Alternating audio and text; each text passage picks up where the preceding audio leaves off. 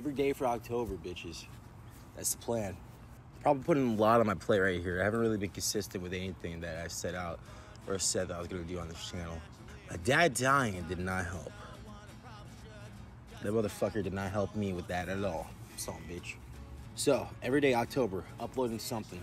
My thing is, I would like to have a consistent schedule, but I can't promise that the what I set up for those days is what's gonna be uploaded on those days. What I can guarantee is Monday, Tuesday is definitely gonna be music of some sort.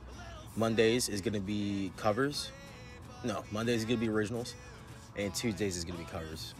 Wednesdays, that's gonna be like a little uh, free card. Do whatever the fuck I want. Either if it's like a really like 30 second clip that I recorded, or it's just some footage that I've been testing out with. Whatever it may be. Thursdays, me testing out a filmmaking technique that I haven't done.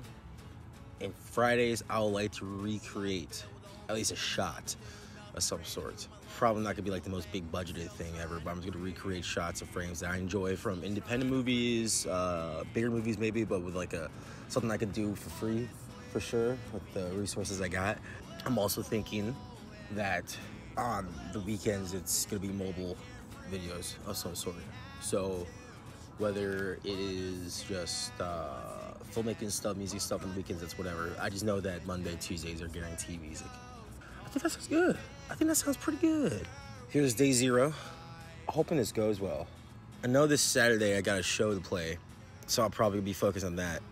That one I should have multiple cameras though, so I'm probably gonna have both my phone and um, this camera to go to. Damn, I think that's it. Ooh. All right, let's see if I was in frame this entire time or even out of focus this entire time. I could have checked on my phone um, with the live view app, but uh, I didn't. All right, let's get this shit out of here.